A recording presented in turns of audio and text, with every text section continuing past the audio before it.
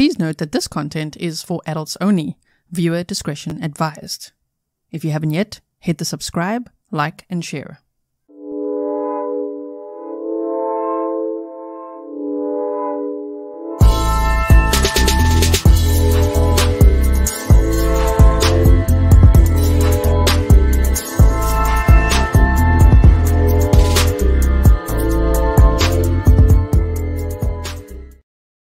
Hello, everyone, and welcome back to another live stream with me, Gisela K. This is Grizzly True Crime, and today we're going to be talking about the Delphi case, the case that literally never sleeps. And just when you think there's just one more piece of news, you know, like a new trial date, no, no, no. Now it's raining Delphi documents. So we've got a lot to go through, and we have a very special guest joining us today as well. Welcome to all my moderators. Thank you so much for everything you do. Welcome to all my patrons members and all the new subscribers, existing subscribers, everybody. Uh, thank you for being here. Please like and share with hashtag Delphi, hashtag uh, Justice for Libby and Abby, or you could use Abby and Libby. That would be great if you could do that. Uh, Cassie's Corner said, This case is so wild. Hi, everyone. Hello, G. I love the hair. Oh, thank you so much.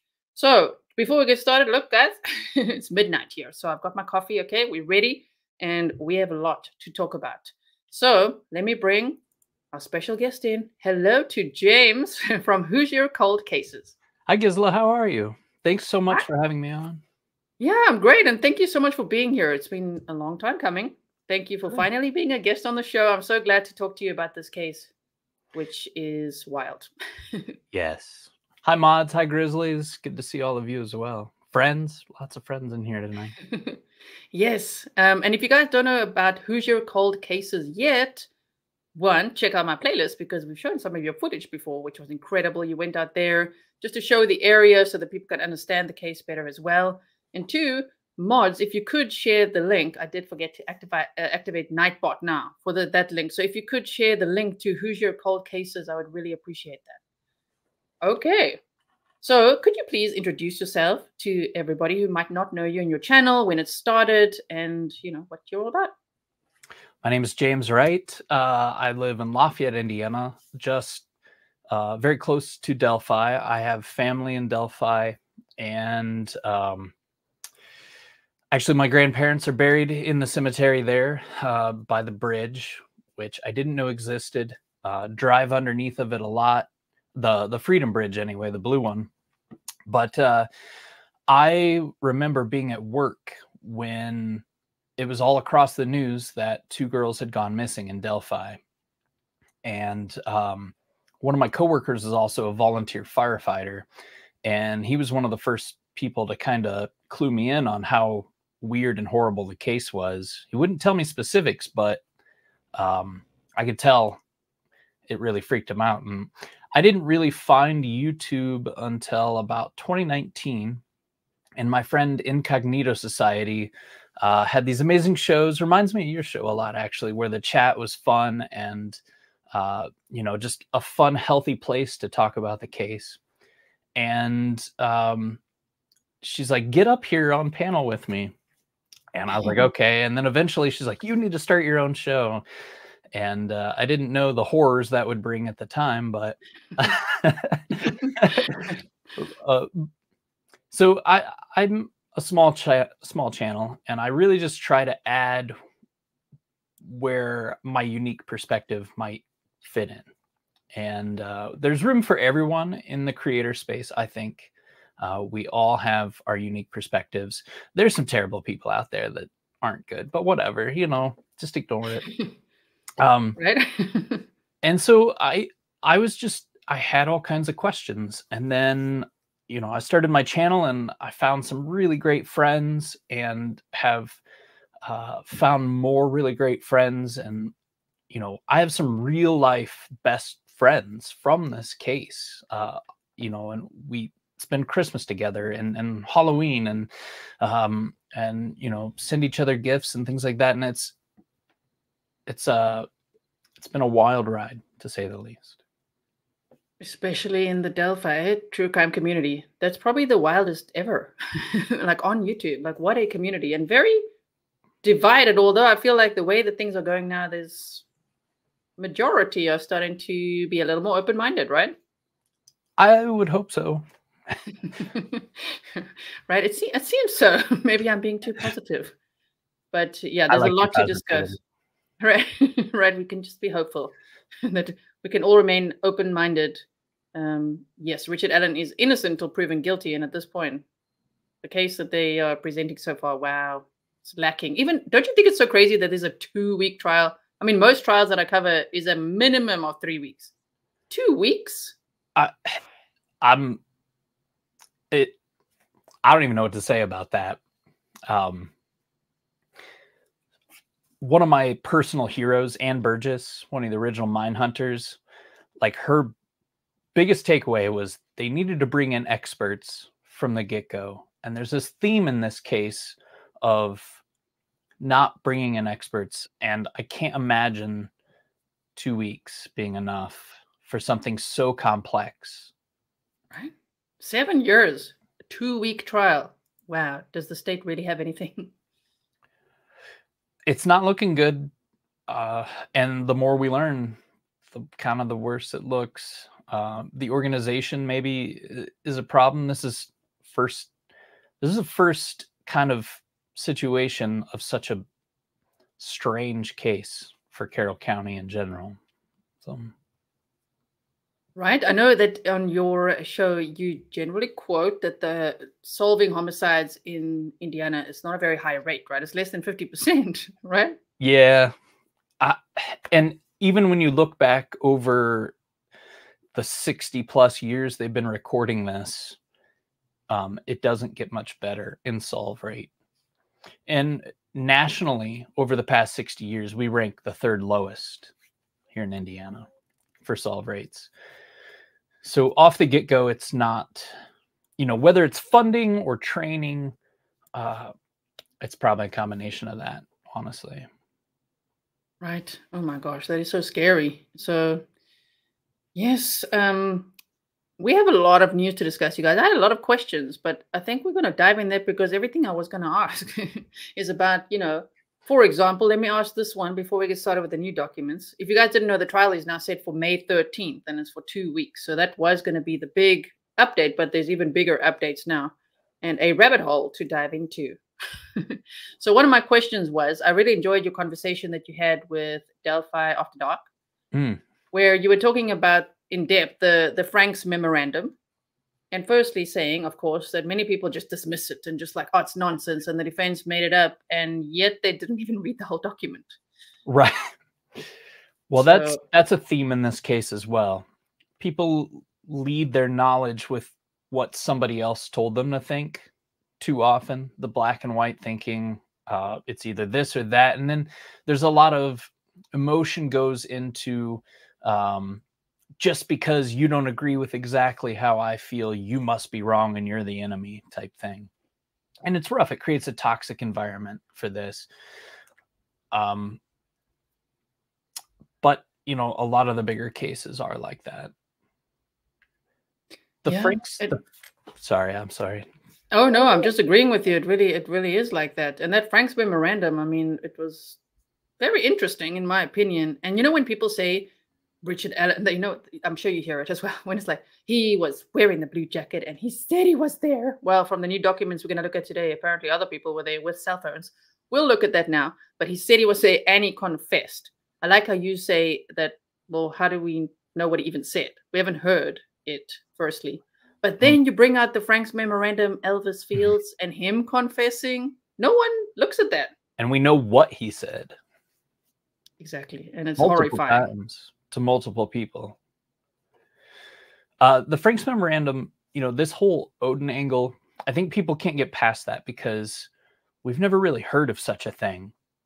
And even I living in Indiana and seeing people with the Thor's hammer and all this stuff, you're just like, oh, that's cool or whatever.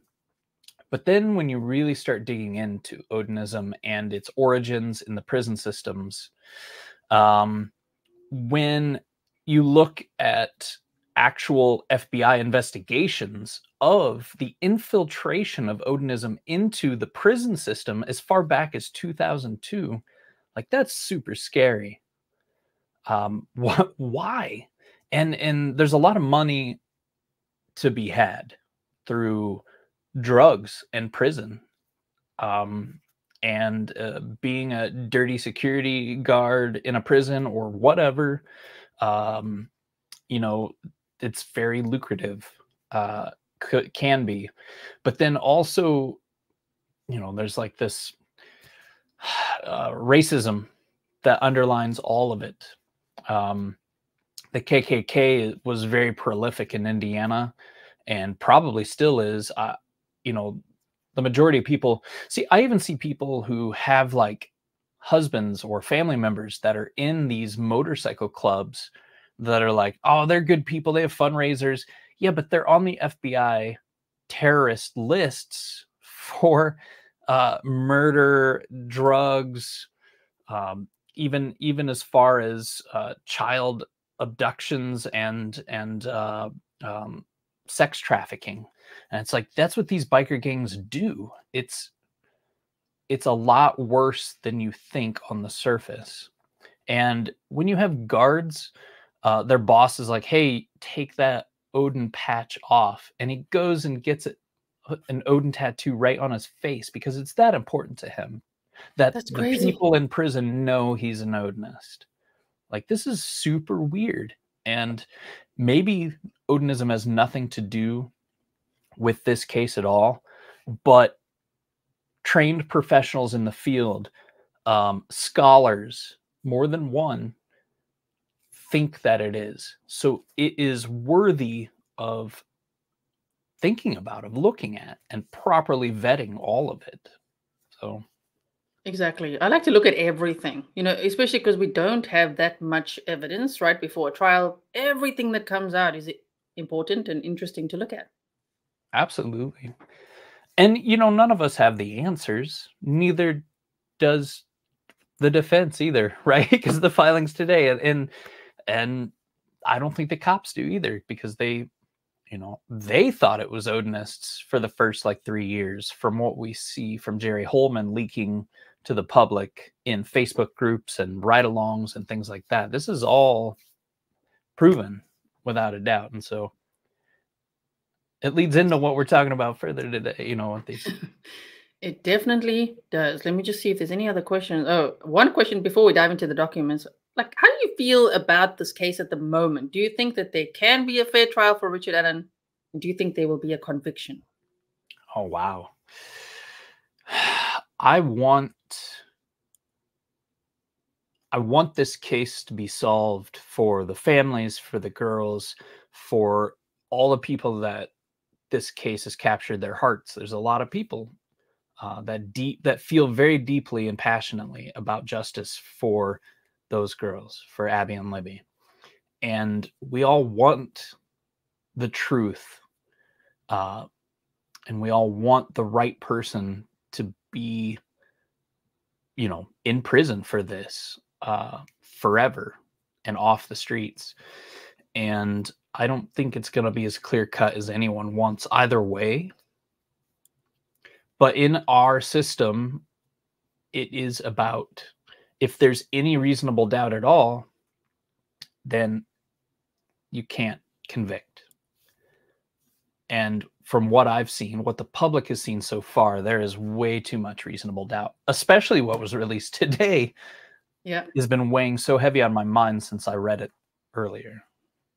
Right. It's so much, so much uh, more of a rabbit hole, you guys, than we ever thought we are going to discuss today. So let me bring up some of these documents. So there's one, two, three, four, five, six.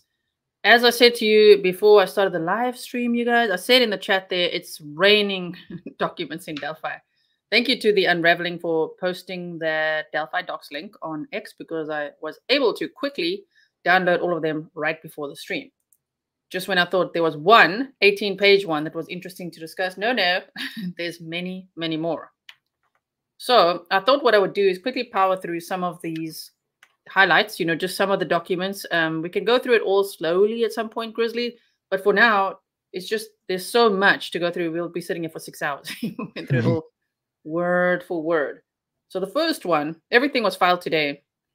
Motion to stay all ancillary proceedings to get this case to trial. Now, this is big guns. David Hennessy uh, for obviously representing attorneys Baldwin and Rozzi. And he is saying he respectfully moves the court to stay all ancillary proceedings and get this case to trial. That's the tone I read in. Just get this case to trial. And then they give all their reasons. And at the bottom here, it says, in short, the court and attorneys need to get back to the critical issues and stop the diversionary filings, which I feel the state is doing. Do you also feel like that?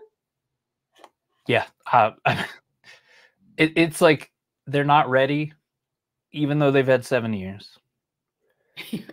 and and they're doing everything they can to delay. But that's not an option anymore, thankfully. Yeah, I mean they're not playing now. Not that they ever were. I don't feel like okay. Some people feel like the defense is playing games and making up things. You know, I'm not quite on that page. Like i find what are... they find interesting.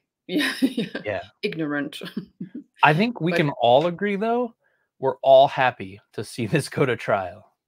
Yes, yeah, and I hope it does. I really hope nothing gets in the way. But I like how suddenly David Hennessy is coming in and saying, "Listen, let's get this case to trial." And it's kind of like they're putting their foot down now. They they're now done playing games. You know, like okay, you know, McLeland. Uh, just I don't know. It comes across as very kindergarten, like the things that he does a little bit. you know that. Yes. I'm so glad that finally somebody's saying, "Listen, this is enough now." So here as well, they say motion for specific findings of fact and conclusions thereon now, defense counsel again, Andrew Baldwin and Bradley Rozzi, by counsel David Hennessy, respectfully request that this court issue findings of fact and conclusions thereon with respect to the contempt proceeding scheduled for March 18th of 2024. So they're saying, what are your findings on this? Because it's getting in the way of the actual trial, which is now 61 days away. That's so short. I saw Sleuthy Goosey last night just eviscerate another YouTuber and the biggest takeaway, if you guys don't know how, who she is, she's brilliant. Uh, and basically, what she was saying is like, all of this has no bearing. Facts are facts. There's either facts that clearly show Richard Allen did this, or there aren't. You can't change all of this weird stuff. Ultimately, doesn't matter. So I agree with Daddy Hennessy. Yeah. Grandpa Hennessy or whatever. Yeah. Grandpa Hennessy's in the house and he That's is right. putting his OG. foot down. So yeah, the OG Hennessy is in. He's saying, listen, first clarify why you want this uh this contemptuous conduct hearing. And then the next one says verified petition for recusal from contempt proceedings. So now they actually just want to toss this whole thing out from what I'm understanding. Am I understanding it right? I'm not a lawyer. You're not a lawyer either, right? But when I read this, I'm like, they're basically saying we have other priorities. Sorry, let me go to the which means getting this case to trial. They yes. praised the court to recuse herself, is what they're saying. The defense is saying this contempt proceeding is getting in the way. It's a distraction. You know, they've now done, and I agree because the Supreme Court of Indiana already addressed this. So I don't know what the prosecutor's trying to do. Now they did leave the door open for this to kind of happen. They kind of hinted at how to do this, but you know what the only thing that could potentially possibly happen is they go they get booked in a jail bond out and get right back to work. Yeah. I mean but at the same t- you know there's really that's the extreme worst and it's probably not going to be what happens. Um, they can't kick him off the case not you know i don't think so. That's what everyone seems to be saying. That's what the and, lawyers say. Yeah. Yes the uh, law tubers are saying and defense diaries that's where i listen to as well to hear like all the the legal expertise and they're just saying no they can't now fire them again or kick them off again. So ali Mata is best for sure. Yeah and i agree it's a waste of time to have this this hearing now. Now they've all got to focus on prepare for this trial which is only a two week trial set for may.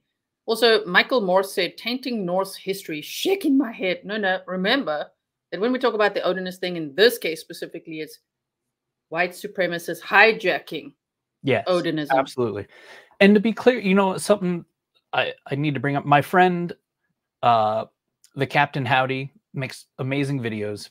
Yes. He you know it upsets him physically that they've hide racists have hijacked like a pagan religion where people are potentially it's like satanic panic.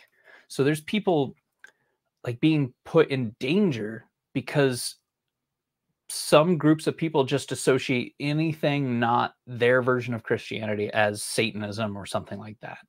Yeah. And so paganism is very beautiful and uh and and just about nature, very peaceful, but Odinism is not.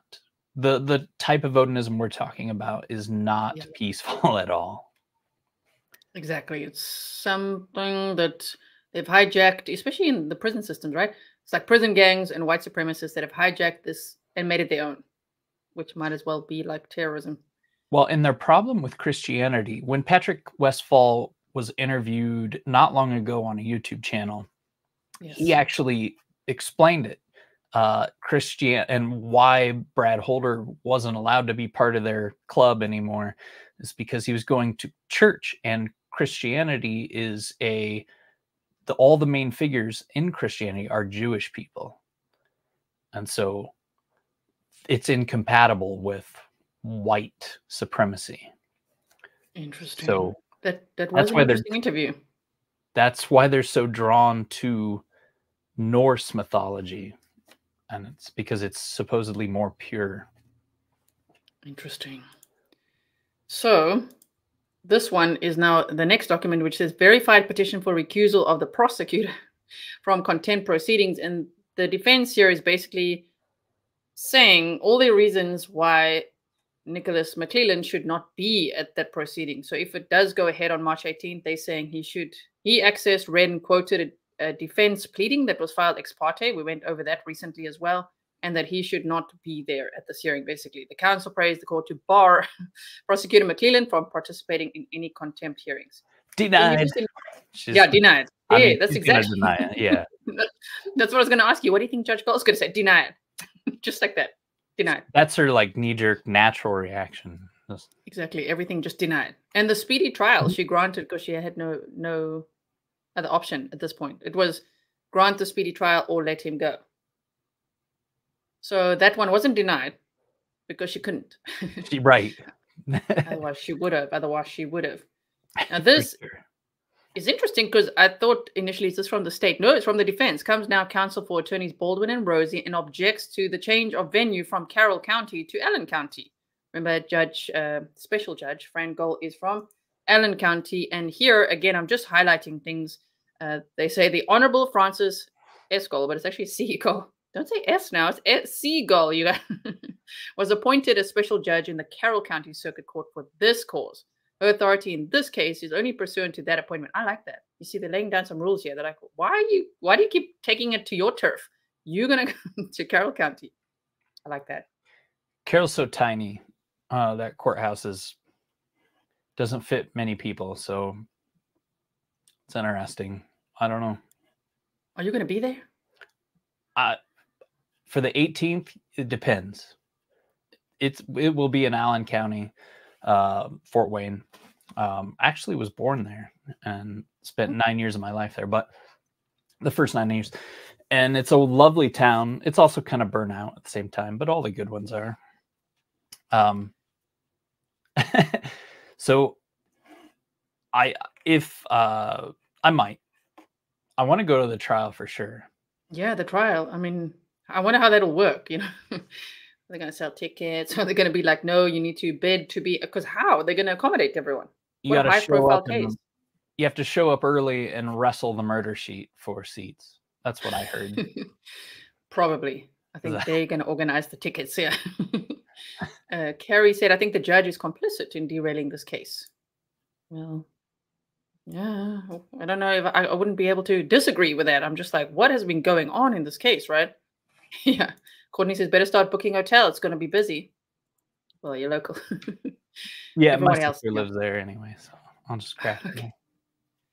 now, let's get to this Oh boy. crazy document. This document is so crazy that it's 18 pages. Now, it's again going to be too much to read every single word, especially also for my vocal cords. As you guys know, it's struggling a little bit. so I've highlighted it as well so we can discuss things. And I can't wait to hear, to pick your brain on some of these things. So here, this is this is now brand new. It's breaking news. It just came out, and it's such a crazy document. if you thought the defense, not the defense, the prosecution was being just a little bit shady, wow, this document's like, what are they hiding? Why are they not giving over all the evidence, especially at this point?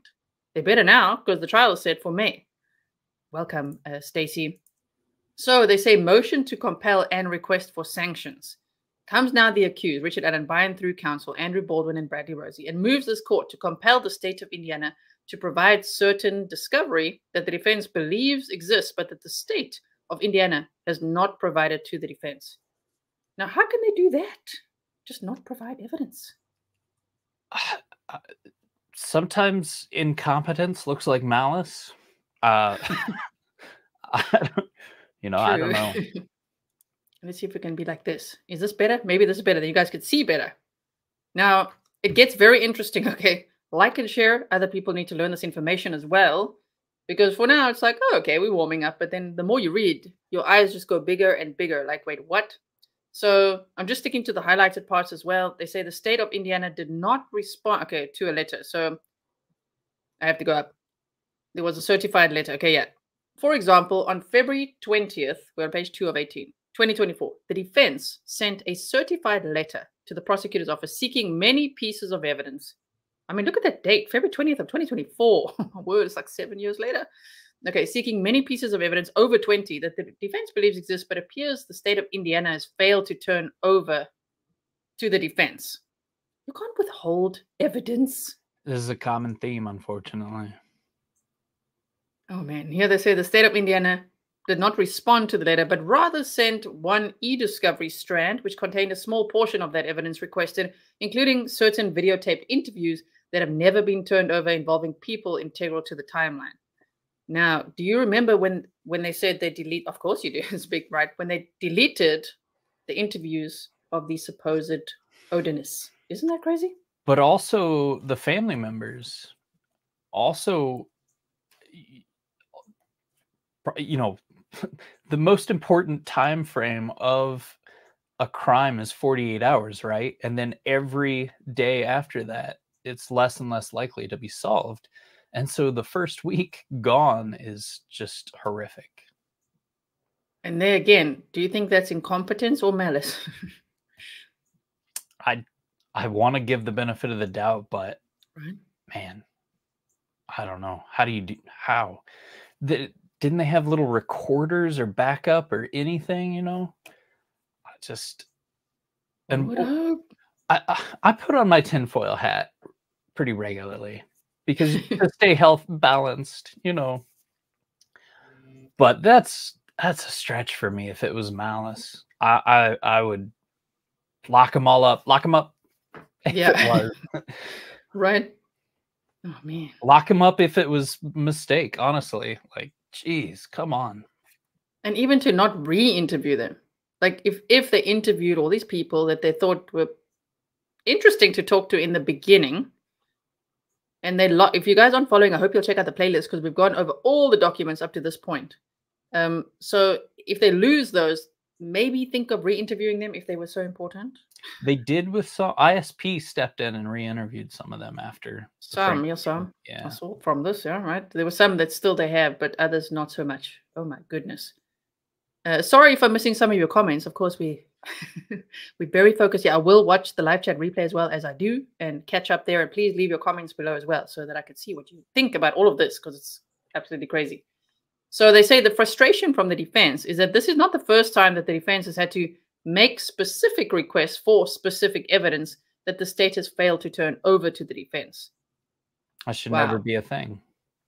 No, like they have to basically identify the needle in the haystack and ask for that specific needle.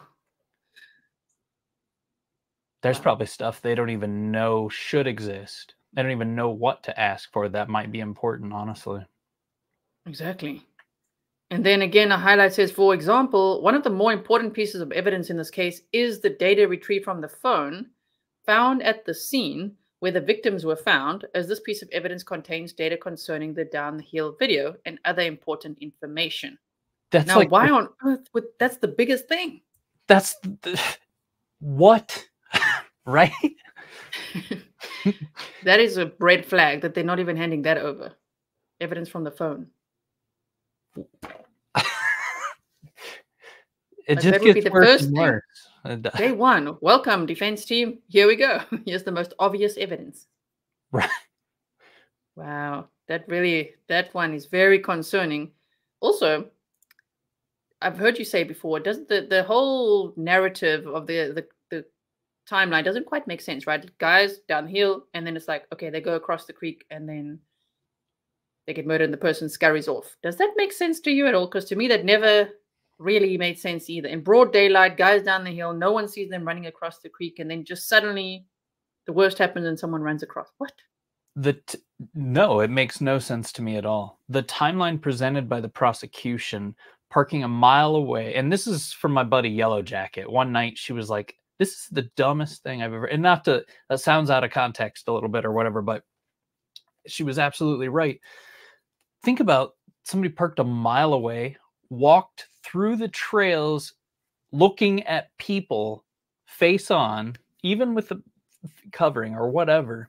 Multiple people goes you know across the bridge murders them or you know takes them down across murders them not that far away and then walks back to be seen by cameras and other people or, or whatever this is according to the prosecution it doesn't mean it's true and then we later find out that some of that might not be true at all um, and uh, the witnesses it's going to be super interesting when the witnesses get on the stand that's going to really Yes. make or break all of this. Absolutely, because if we see what the defense says, the witnesses say, it's not at all what the prosecution is saying they said, let alone the witnesses who provided details for the sketches, of which the defense is saying there's another sketch that none of us ever saw. They didn't even see it. there's a third sketch, but the- poofy hair. Oh my goodness. So there's the old guy sketch and then the poofy hair sketch. Uh, uh, Those, none of those are Richard Allen. But are I agree that, and people are stretching, saying they are, they both are, because of something uh, a politician, Doug Carter, said. Uh, I mean, Yeah, someone did point out he's a politician. He does speak like one. It's like, okay, guys, here we go. Here's a sketch. But just remember, just think of the person from the neck down. yeah, Don't think of their face at all. Here's a sketch only of someone's head, but just think of them only from the neck down. I'm like, okay, it's a very strange case. Very interesting. So people are freaking out here in chat saying, wait, did they literally say the defense does not have this important evidence from the phone, as in from Libby's phone? Yes, that's what they're saying. This phone and the data contained has been available since 2017, yet the defense did not receive the data from that phone by the deadline of December 14th of 2022 as designated by local rule.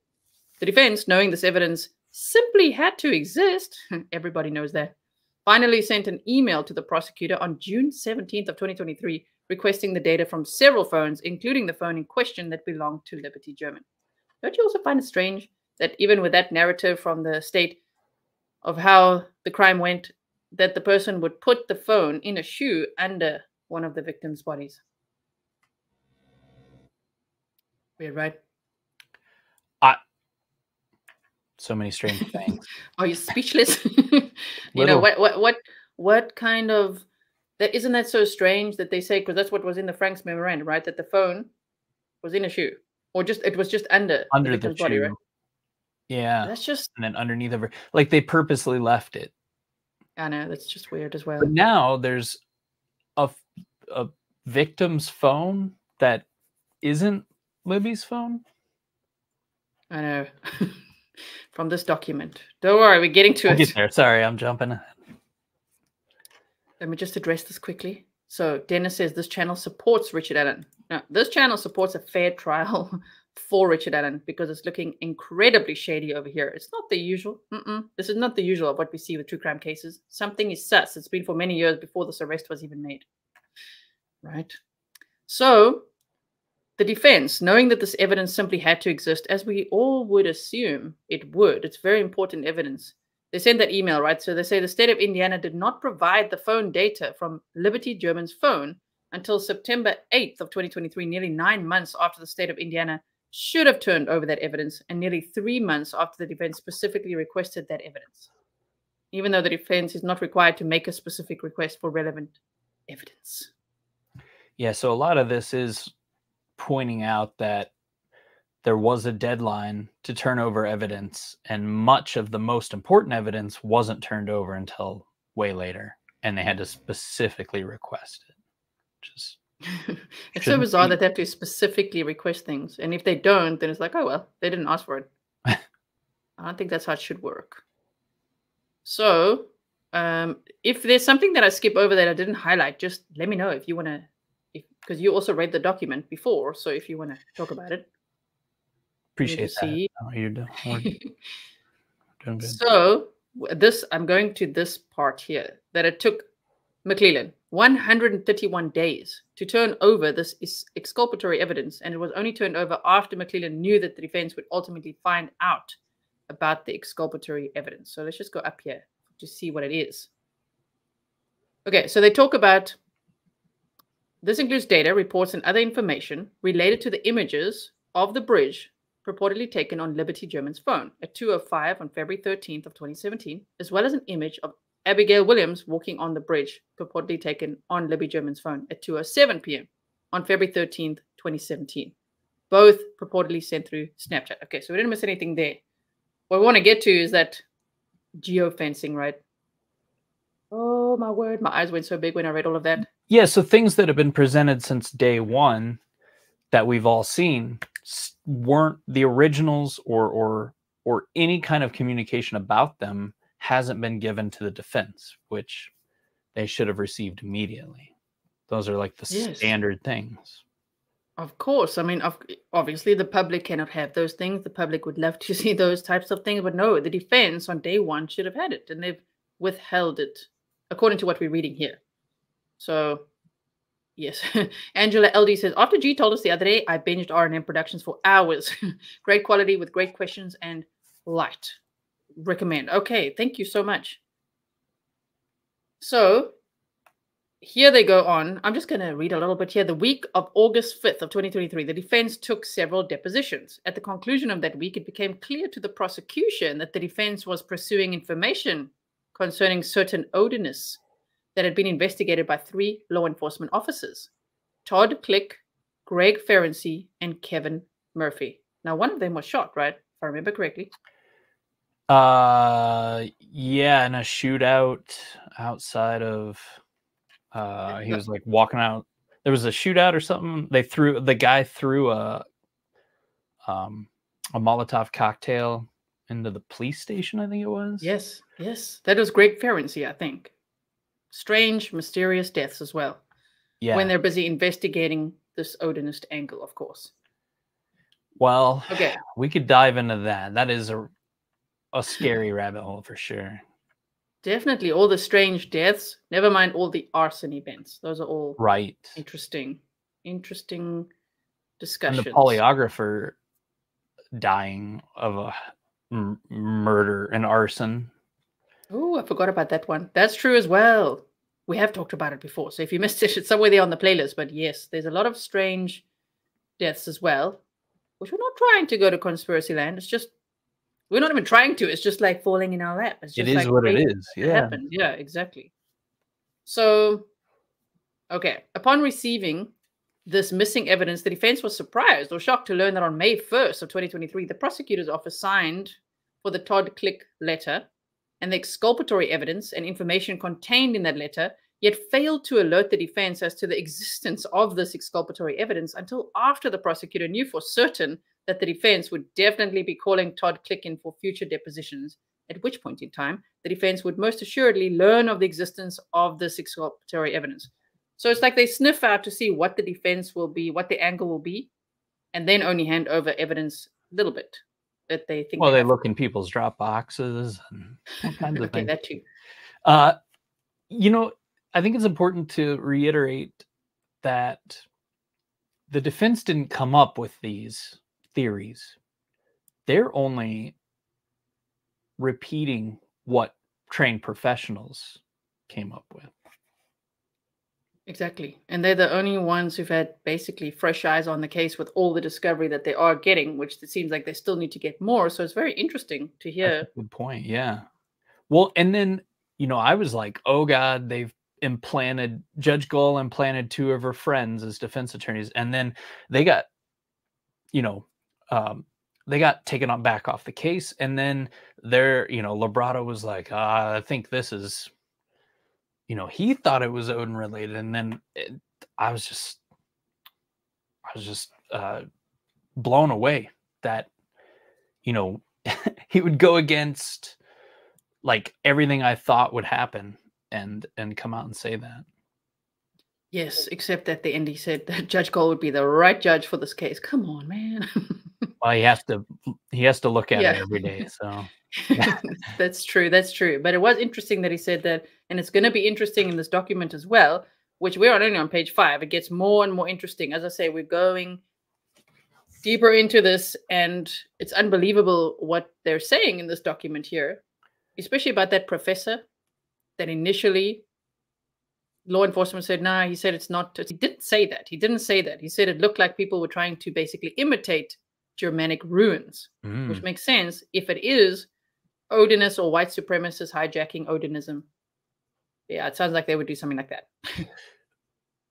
or someone trying to pin it on the Odinists or yeah, something. Or yeah, that, or that, or that true as well or even you know some people in their own rituals make up their own symbolism that satisfies you know and that's what makes a signature is something that isn't integral to the actual murder but that satisfies an emotional part of the killer so i don't know question is it scary living there or not is it scary yeah i would be a little and bit. It's nervous. actually I'm more scared of the police. Especially after the Jesse Snyder story, which is on RNM Productions. Um, a Reckoning in Carroll County is the video, which I told you guys about in the last Delphi live stream. But that whole story, I believe you knew, you or your wife knew Jesse Snyder, right? My wife uh, was good friends with him. Um, wow. Yeah. So that's scary because if you didn't if you don't know the story for everyone that's here now it, it's the police basically ruined an innocent man's life and he died in a very strange way as well just like found dead on the side of the road yeah and it was initially reported as like a shooting or something and uh and then later changed to the correct what happened was suicide but yeah yeah yeah, so, they, even after they found him not guilty and they threw out the case and made the cops hand back all his guns, uh, um, Dulin emailed or sent a letter to his boss telling him that he got away with all this crap and blah blah blah and they fired him. Yeah. Dan Dulin, we've heard that name before. That's the same guy who's that what's he called conservation officer that said, "Oh yeah, Richard Allen did say he was there. you know, five years later, he's like, "Oh yeah, I spoke to him. He was there." He doesn't have a great history. Mm, doesn't seem so. Can you, you imagine know. seven, six years go by, and they're like, you know, they do press conferences where like, who was parked at the CPS building and who was wearing this and pictures, and he never ever remembered oh, didn't I interview that guy that said all of that or whatever? You know, like what, what's going on with that? he's like, oh yeah, five years later, it was a guy. but even though you know, like Richard Allen said, we later found out that Richard Allen said he left around 1.30 if I'm remembering yeah. correctly and Betsy Blair actually saw a kid in his 20s with curly hair. And then when she was leaving, she saw uh, what reminded her of a 1965 Comet, a very, very different vehicle than what Richard Allen owned. And so yeah. that's going to play out really interestingly in the trial. Yes. Do you think that this trial will be televised? No. I don't think so. It, it should be. It should be because it's already there's so much mystery and secrecy. It really should be. I don't think it's going to be. If there's ever a time for transparency, it's now. Yes, I'm sure media will fight for that, but Oh man, I hope so. I hope we'll be able to watch it. Yeah, I mean, uh, Baldwin and Rozzi are professionals with a ton of experience. They are basically the best of the best, honestly, and it's just a different game. McLeland should have never. He should have requested a special prosecutor, regardless yes. of anything. Yes. And now that he's got co-counsel, also run things by him. Maybe run things by him instead right. of digging into documents you shouldn't be reading. yes. Mm. Now it gets interesting. Okay, they say it is highly likely that the prosecutor would have never turned over that exculpatory evidence to the defense if they basically didn't ask for specific evidence. Now they say the very last discovered item that the defense received before the prosecutor requested that the defense be kicked off the case was geofencing evidence that the defense believes was received on October 6th of 2023. The geofencing evidence was received nearly 10 months after the state was required to turn it over. What's the delay? What's the holdup? You know? And they say, and contain what appear to be highly exculpatory evidence concerning a variety of important matters, including the phone numbers of multiple people who appear to have either been at the crime scene or within 60 yards to 100 yards of the crime scene during the very times when the victims were reportedly being murdered, according to the state's timeline provided in the probable cause affidavit. Isn't that shocking? Oh, you got some map time for us. so if you, if yeah, if if you don't mind, I want to no, do it. Do it. I want people map to time. see this. So quick, yes. let's ask our chat too. How big do you think a hundred yards from the crime scene in any direction? So that'd be a diameter of 200 yards, a radius of 100 yards. Do you think the trails are within that area? Do you think the cemetery is within that area? Do you think houses would be in that area? Let me show you. Yes. So we 91 know 91 meters. Just typing it for them. 91 meters for those who want to know. yeah, the entire world is on the metric system except us. we we use toes and feet and toenails to measure things. Who knows? Uh, so we know that the crime scene is directly in line with the east side of the cemetery. You know, give take 50 feet from the water. So we'll just choose a spot right here. Um, when I click on this, you can see the radius changing. The radius is half of a circle. So technically, the diameter of the circle is 200 yards. Okay. That's how big a 100 yards is.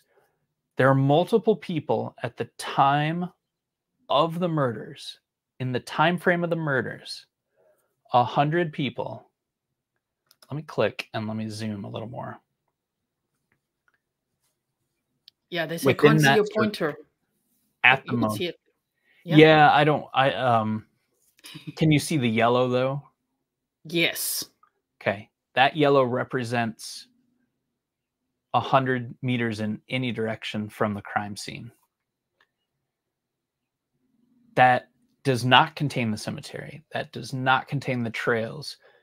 So, DP, uh, Cheyenne, the people that were with those people, uh, Brad Weber at his house to the south there, anybody in the cemetery, anybody on the roads, none of those people would be included. There are multiple people that are within that amount of space. Ron Logan's is up there on the right mm-hmm. upper part. Um, you have Yvonne Haynes at directly south. Uh, the you know the Webers there south and to the east a little bit but it blows my mind. And and so a geofence. Um, now I I don't know the full. I don't know everything about this, but what I do know is that cell phones have a range of 22 to 44 miles. Okay, and cell phones are constantly at all times. They are reaching out to every tower within 44 miles at the most, 22 at the least, and saying, Hey, are you the fastest? and are you overloaded? And it, it's constantly negotiating where to send its data through which tower. So back in 2017, there's a website, and I don't have it pulled up right now, but I'll just explain. There's a website where you can go and you can look where towers were back in 2017. You can see all of them, and within um, a 20 mile radius, when you go 20 miles away from the Monon High Bridge, that's even less than the bare minimum, the 22 miles that a cell phone can reach. Uh, that includes Logansport and Lafayette. So there's a tremendous amount of towers out there. So there weren't just two towers that a cell phone can ping off of, like a lot of people say. So we're talking we're talking like 15, 20 towers that a cell phone in those woods could easily reach and communicate with. So they can triangulate based on cell tower power, the signal power and and where it's hitting the different towers. And then it can there's a formula that determines all that and they can get very very accurate results and 100 yards is a football field and that's the max that they're saying the radius they were seeing people in which is just the biggest bombshell of all of this documentation today right so we're going to show them your map again i just want to make sure that everybody understands what they're saying in this document is that there were multiple people, multiple cell phones pinging in that little circle at the time, in that time frame when the murders occurred. I mean, we haven't heard that before. right. And they don't say it's Richard Allen's phone either. We haven't heard anything about his phone. They well, they clearly say his phone is not. Yeah. there. Mm-hmm. Sure. This is so shocking. So to continue, because they keep going with it, they say in this late discovery, the defense found a map prepared by someone, presumably law enforcement, that appears to track the movements of these people in and around the crime scene on the afternoon. Now, this is a typo for them on February 13th of 2017, including between 3:02 p.m. and 3:27 p.m. at or very near the location within 60 to 100 yards of where the bodies were ultimately found the following day. Wow. multiple people. So we're gonna it, it keeps going. We'll go over it again, but that's quite odd because we always wondered, wouldn't they? Wouldn't they know? Wouldn't they be able to do that geofencing? This was always a question, but apparently they did. It's I've been yelling forever. Where is the cell phone data? Yeah. Now there's some of it, but they don't have all of it because they say the state hasn't given them all of that. They just don't have that report. And that's the point of this ultimately is that they don't and did the state even investigate those people? Did they interview those people that they were able to tie the phone numbers out there to? We have exactly. no idea, neither does the defense. That is very shocking. Let's put it like this again. So they said since they returned to Richard Allen's defense, Allen's attorneys have specifically requested via email February 26, 2024, that the state of Indiana provide all narrative reports related to the geofencing data, as well as all documents related to the geofencing data but the state of Indiana so far has claimed that no such documents exist. Oh my word. There's too many coincidences now. You know, like the videos just not existing of those interviews of those people, the supposed Odinists, right? The group, of which one of them confessed to being there when the girls were murdered and said, if you find my spit on them and I can explain that away, am I still going to be in trouble? And his sister passed that polygraph test and everything. Two sisters.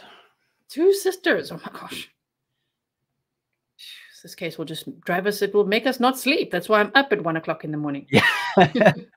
this is why Delphi does this. oh my goodness. So the, even Mr. Grizzly is very much part of these conversations in the house now about Delphi. He's like, so what's happening there with Delphi? Okay, let me tell you. you asked, let me tell you. Hours later. My goodness. So they say, again, the defense is at the mercy of the prosecutor's claims of the existence or non existence of such evidence. That's scary. As it relates to the geofencing evidence, it would be shocking that law enforcement would take the time to put a map together tracking the movements of certain phones in and around the crime scene between 12:39 that's very specific 12:39:54 p.m. and 5:49:06 p.m. on February 13th of 2017 but then not follow up with detailed narrative reports concerning the geofencing analysis of that data. so shocked. It's like It's heartbreaking. drop. Yeah, it is. I mean, that's again where where you said, is it incompetence or malice? I don't know. There are tiers of evidence, right? And that data is top tier. Yes, It's absolutely. nearly impossible to explain away your cell phone in a remote location like that. So Oh my goodness. And at some at some point there, Ron Logan wasn't there, but he was later. so you know, his cell phone uh he had a phone call at like 209 and he was on in in the area of the trails. Phone calls don't use GPS, so it's not as accurate. But he received a text at uh, around 8 and and again at 10 p.m. and his which are since 2013 a law went into effect where they all text messages must contain extremely accurate uh, location data, so GPS and tower data, uh, because in the event of emergency or something, they need to be able to find a person, right? So he was in the location of the bodies yeah. uh, at eight and ten, which is maybe he because it, it was dark out. Granted, by that time, maybe he got close and never actually saw them. But it's super weird, and it should have been vetted much harder than waiting thirty days to search his house. But hindsight's twenty twenty, right? right. Do you personally think that Ron? Lo- That's a heavy question. Careful now. Do you personally think that Ron Logan is Bridge Guy and or is involved in the murders? I don't know. But Lois Gibson is an expert, like holds the world record. Um, I trust her analysis. And I there are some weird things. Um, do I know for certain? Of course not. Uh, do I think it's possible? Yes. Um, I can't hard say like could it be Richard Allen? I lean towards no, but I don't know. You know, like we, I just we just don't know, and it's my opinion. My opinion is that I don't think he is. I don't think there's strong enough evidence, and um, and that's what a trial's for, right? Exactly. Is it not also strange that the state prosecutor did not want the probable cause affidavit released because he said, no, there's going to be more arrests?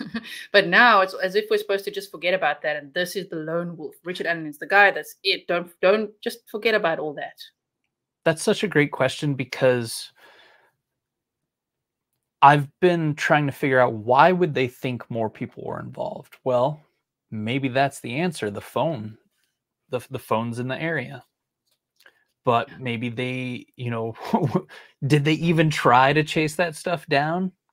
And then why be so bold as to say that in court? It's ridiculous. I, I don't Yes. I just Could shake my please- head at stuff. Uh, Sometimes. That's a lot of this case. It's just like, oh my. Could you please, could you mention Lois Gibson? Explain to the Grizzlies who Lois Gibson is and what you mean. Lois Gibson was a forensic artist. Um, and she holds the world records or record for cases solved from uh, doing uh, sketches. Like maybe I'm a little bit wrong there, um, but sh what she did is she did a comparison.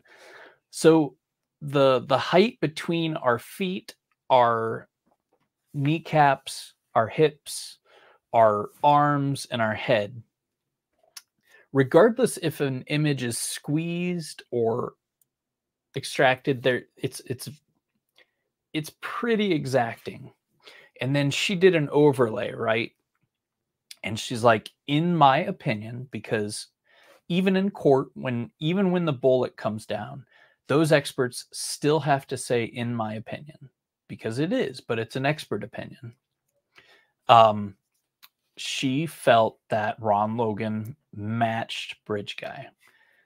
Now, the first image that was released of Bridge Guy was like squished. He was like squishy and squashier. And then the second when they released the video, it was like drawn out. Now using the the bridge and things like I used um um you know like a squared plus b squared equals c squared. Well, you can the the bridge trestles are 10 feet across, right? And so and by using algebra, my first determination of bridge guy was five foot three inches, and everybody was like, "No, you're wrong. You're an idiot." And then um, the captain and I actually went out to the bridge, and we, uh, with the help of his wife and my son, we we set up a. Uh, oh, I'm freezing. yeah, you, you hear me? There we go. yeah, yes. we set up a height chart at the exact location of where Bridge Guy stood, and matched the um, angle with it. There's an app. Uh, so, you know, when people want to recreate family photos from like when they were children, Captain used one of those apps and we lined it up and we figured about six foot.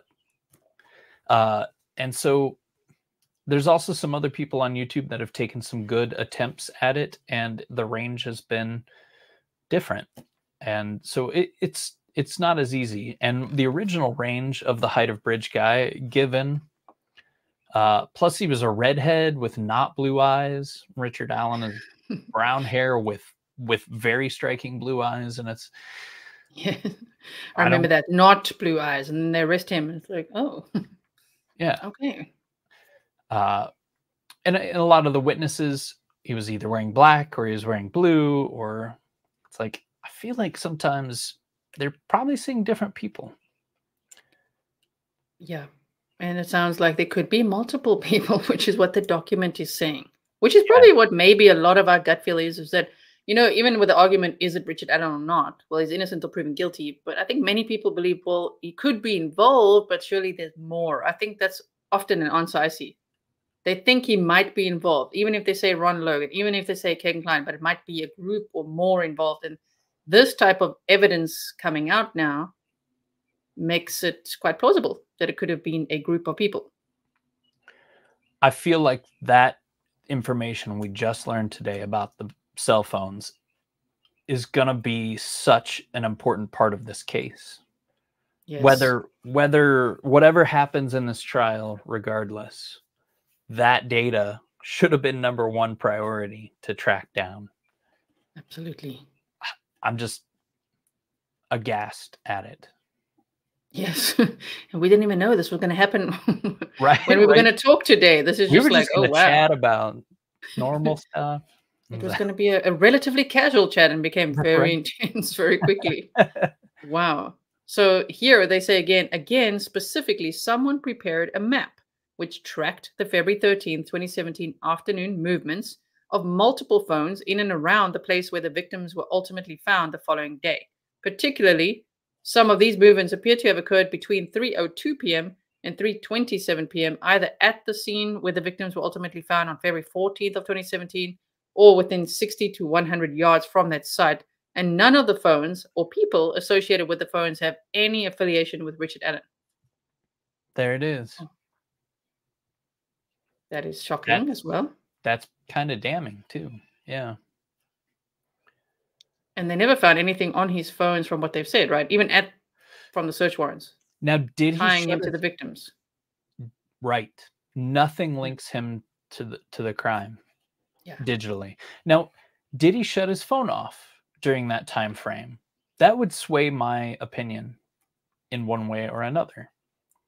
Mm-hmm. If they can show that his phone was moving back towards his house or whatever during this time frame, then obviously that's that sways one way.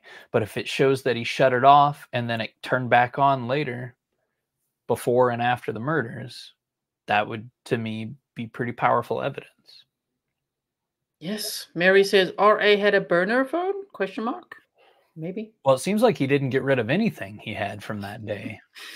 Right. He held on to the jacket, the, gun, guns, everyone else used it, everything. Yeah. Almost like he was innocent. Yeah. He and he uh, offered up the information initially. And Yeah. then when he was interviewed again, he was very helpful. I know sometimes perpetrators can be. I'm aware people are going to say they can. Sometimes they do. Yes, sometimes they do. It's just like he really seemed to walk into this one. Yeah. Yeah. I he it's to me it seemed like he wanted to be helpful. That's a good point. Elbo's mom reminds us he was he was looking at his stock ticker and also the fish. so he said he was looking at the stock ticker, which makes that statement quite interesting. Then to say that none of the phones or people associated with the phones have any affiliation with Richard Allen. They should be able to to prove he was looking at stocks hmm from his phone while walking out there. They should pretty much be able to track his every movement. Yes. Now Melissa says, what about the unspent round, the bullet casing? Who knows, man? I if it was fired, I might feel different. If it was found the actual time Yeah. they've they investigated the scene, but it was found many days after. It's been they they went back to get that bullet. Um not everyone believes that's the truth and that's fine. None of us have to believe anything. It you know, it doesn't matter. We're not you know, I don't have money placed as a bet to whether he's guilty or not guilty. Nobody should that that'd be that's weird. And it's weird. Yes. it doesn't matter you know if you're wrong or right it's okay you know i, I don't it gets us into the the weird side of youtube and it's like it, we're just talking about it we're we're reporting what we know and helping people who can't get you know uh, access to the documents or i even get um some some seeing impaired people who are like thank you so much for reading that Yeah. otherwise i wouldn't have been able to know about it you know so Exactly. So we're just having conversations about it. We don't know. I mean, how would any of us know? No one knows anything, especially in any case before a trial. right It's always innocent until proven guilty, and so much always comes out at trials. So much more information, you know. So I don't know though. This one's only a two-week trial. Let's hope it's compelling. best of luck with that Yeah, yeah. Good luck there. Two weeks. Wow. So i was looking at your channel a little bit your videos go back two years and it says you have 15000 video or 1.5k videos so 1500 videos I don't know. I haven't analyzed it. Maybe. impressive Oh, thank you you. a hard worker that's so cool Work, working hard over here. The Grizzlies do see me almost every day, so seems so. oh that you know what but that's the best I love coming into your chat. I'm a fan first before I'm anything else. You know, of uh, I used to watch Forensic Files on repeat to fall asleep. You know, now you watch Grizzly True Crime. that's right. Well, thank you up. so much. I made Thank that you so lovely short. I know? super appreciate. Oh, or you have more? I'm sorry. Oh no, no, I'm, we're only on page seven. We have so much more. Let's go. Let's keep going. Sorry. I was I'm just saying, I made it. I made a YouTube short. If you guys didn't see it, where James from Hoosier Cold Cases says, you know, that he's a fan. He's a Grizzly, which was very I nice. okay, let's see what else I highlighted here for everyone. They said it would be shocking if the owners of these phones were not interviewed when their movements were tracked and then replicated on a map depicting their movements around the crime scene based upon geofencing coordinates. Yet the defense has not located any interviews of the owners of these phones. One would think. Uh, investigate that. Stop with all the press conferences and and all that and just investigate that. Now, here we talk about this Purdue professor. They say, however, since getting back on the case, the defense has learned that Jerry Holeman, oh man, he's quite a red flag, isn't he? Everywhere I see him mentioned, he seems like quite the red flag. Jerry Holeman did, in fact, learn the identity of the Purdue professor, Jeffrey Turco, on August 12th of 2023 through the Purdue Police Department, and Turco's identity was confirmed a few days later by other law enforcement. Holeman even had possession of Turco's report, which contradicted Holeman's August 10th, 2023 sworn testimony during the same time frame. Oh my goodness. You have this Jerry Holman contradicting his own sworn testimony. That's not normal. Yeah, which some people would call lying. yeah. that might be perceived as lying. So why it's interesting if you haven't followed, you know, the deep dive of the case and the Franks memorandum and all that is because there was a professor that the detective said said no. He they said that the professor said it wasn't Odinism, right? But now, when the defense digs deeper, they say despite how Holeman drafted his report, Turco, the professor's conclusions were not inconclusive whatsoever. Turco was clear that, in his opinion, and that of a Harvard expert, the sticks found at the scene were an attempt to replicate a Germanic rune script. Oh, so that's very different to what law enforcement says the professor said, who they forgot his name and couldn't remember, you know, couldn't identify him. I more than any other piece of evidence, uh, you know, anything, I would like to see that Odin report, honestly. Me too. I've said that to 85 page Odin report, right? We want that. Don't know if we'll ever see that. Right. I wonder if it That's will. Will point. we ever? That would be good. You know, maybe it would be after the trial or something. I could make a more informed decision about my feelings about it if I could actually read it, of course. And so could a lot of people. Nah, they wouldn't read it. So yeah, most wouldn't. We're gonna read it to everyone though. That's right. We're, about, we're especially talking about we're not snarking at you guys. We're talking about content creators that do not read the documents and then say that their way is the only way, basically, without being informed. It oh, takes dear. all kinds. It's okay. Yeah, it takes all kinds. There's space for all of us here. That's right. That's the night. right. Nice. So, yeah, Renee also says, I really want to see that. Okay, let's just see what else I highlighted here for you. They said vi video of Elvis Fields' interview was not turned over until September. So they do have that. They have a video of him at least. Right? Now he's okay, one I'm that gonna, confessed. I'm going to rant for a minute. Ooh, rant time. Okay the Elvis Field stuff is the weirdest thing, like in this entire case I've heard so far. Like, yeah. I don't care if it's Odinist or whatever, but he said you know, the day after the murders, he knew there were sticks in in her hair. Regardless if he actually put them there, he knew they were there. And mm-hmm. some people want to brush off that as like, oh, you know, there's sticks everywhere. Maybe they just got no, come on. Oh, they fell off a tree that way. No. No, no, no.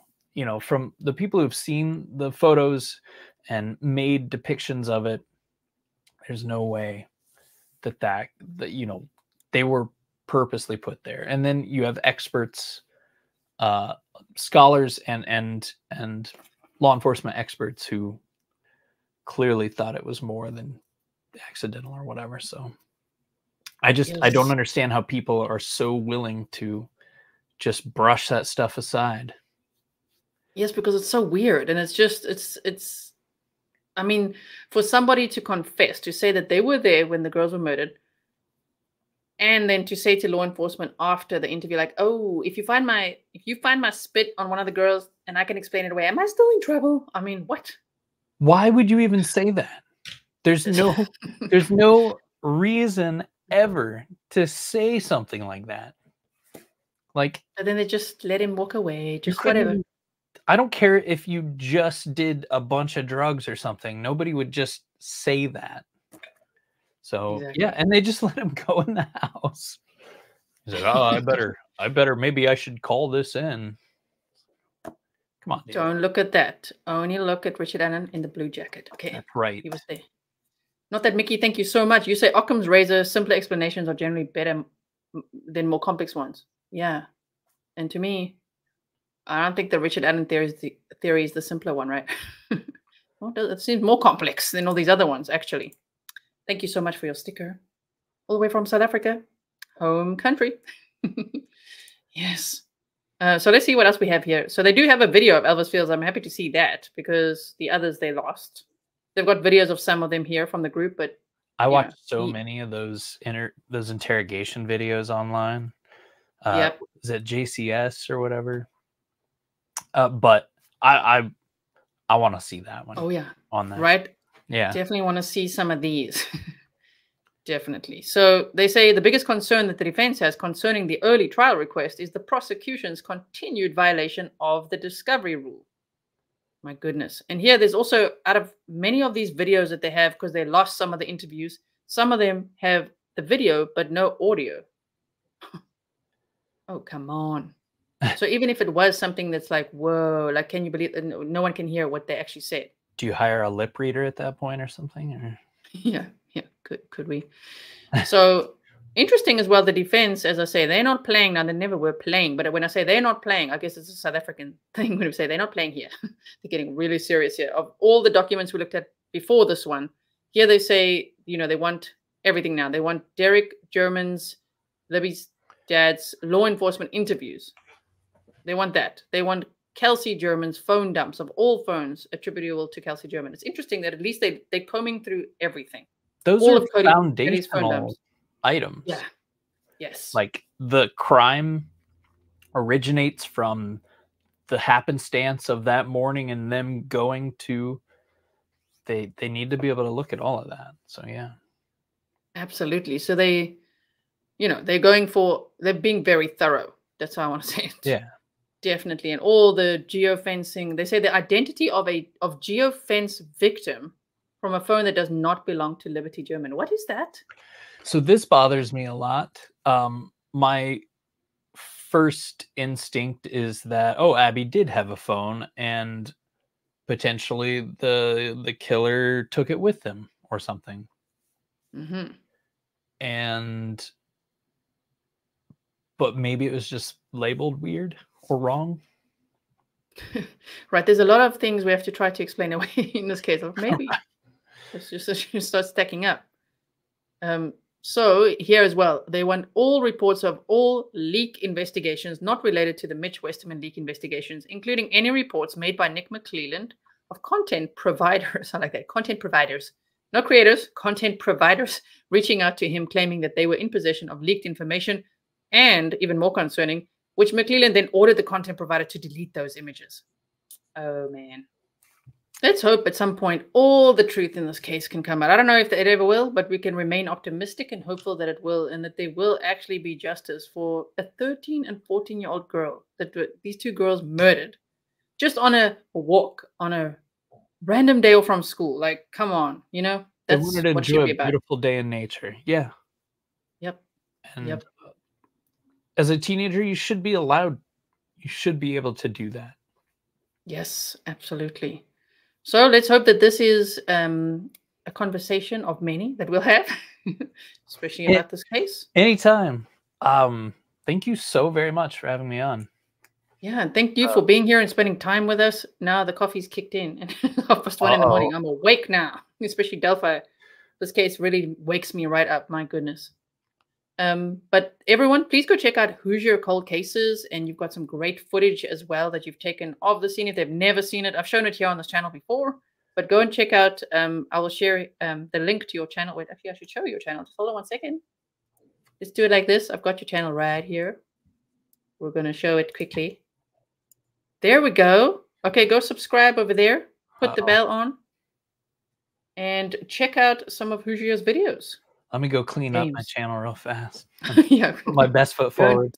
Yeah, don't do that. Don't so, judge me, Grizzlies. I'm just a yeah. guy. we appreciate your insight very much. Um, Thank you. You know, I, I love your channel and your conversations that you have with other creators as well. Always bringing in, you know, the logic and the calm. We like that. We like that. Grizzly Cat says HCC is a G. Thanks for spending time with us. Justice oh. for Abby and Libby. Yes, thank you so much. So we're going to go now. If you want to stay till after the outro, that we could chat behind the scenes. Thank you, Grizzlies, uh, for being here for the second stream of the day. If you didn't check out the trial coverage from today, go and check it out. And I will see you all again very soon. Okay, bye, everyone.